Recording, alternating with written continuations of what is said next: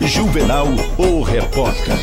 Oferecimento Big Leste, a limpadora de fossas do professor Ladislau. Telefones 3212-6935 e 8845-7909. Big Leste, agora também em autos. E Singular Publicidades. Quer anunciar em outdoor ou mídia de TV? 98812-1070. A Polícia Rodoviária Federal efetuou a prisão de dois homens estão chegando na central de flagrantes. Vamos saber dos rodoviários a ocorrência. Vamos conversar com eles aqui para saber.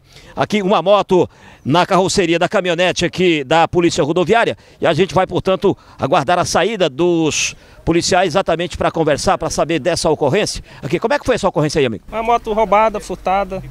Eles furtaram ontem, na data de ontem, a gente abordou eles e tinha queixa de roubo e furto. Hein? Na saída para Lobão ou para Alto? Na proximidade da BB, zona urbana. Já são conhecidos? Vocês já puxaram aí? Não, ainda não. Então a moto? Essa moto, portanto, roubada por esses dois homens, estão sendo acusados, é claro. E a polícia rodoviária fez a abordagem e a gente aí já mostrando a chegada deles aqui. A moto como vocês estão vendo, já recuperada. Vão tentar localizar o proprietário exatamente para eh, a devolução. Mas a polícia agora vai checar. O trabalho da Polícia Rodoviária foi apreender e conduzir os dois homens, os dois indivíduos aqui para a central.